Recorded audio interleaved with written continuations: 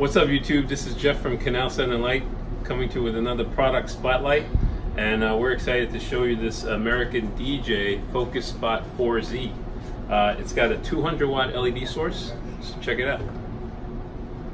Bam! At only 23 pounds it packs a lot of punch. Uh, we're going to go through some of the features for you. Uh, first of all we'll show you some of the colors. It's got eight colors. Colors.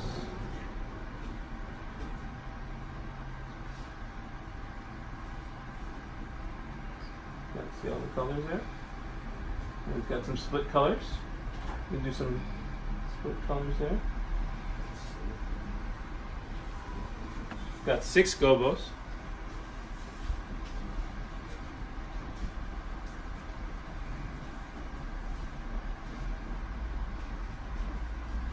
Rotating gobo. It's got two different prisms, a six facet uh, circular prism which is that. And it rotates.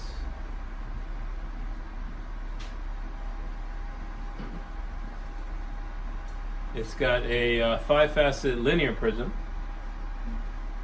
There you go.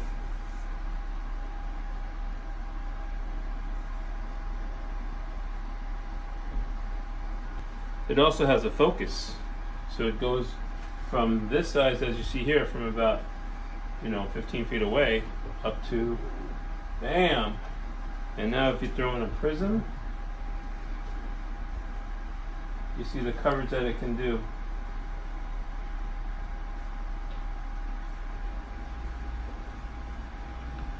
Layer on some colors, and you have a great effect. 1029 and 99 cents. It's a fantastic value it's got PowerCon in and out. It's got three pin DMX in and out. And um, like I said, only 23 pounds. Packs a punch.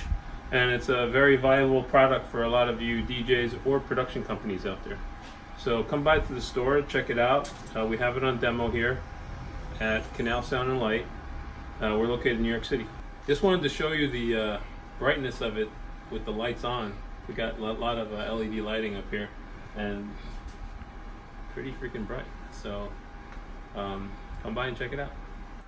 Hey, we realized that a bunch of you are going to have some questions on how we uh, are controlling this. So uh, what we have here is the WLC16 by American DJ. It has a built-in Wi-Fi transceiver or transmitter, if, if you will. And uh, we have this um, WiFLY EXR battery over here. So really just power up the unit, feed it a short DMX signal, and uh, you have yourself wireless control.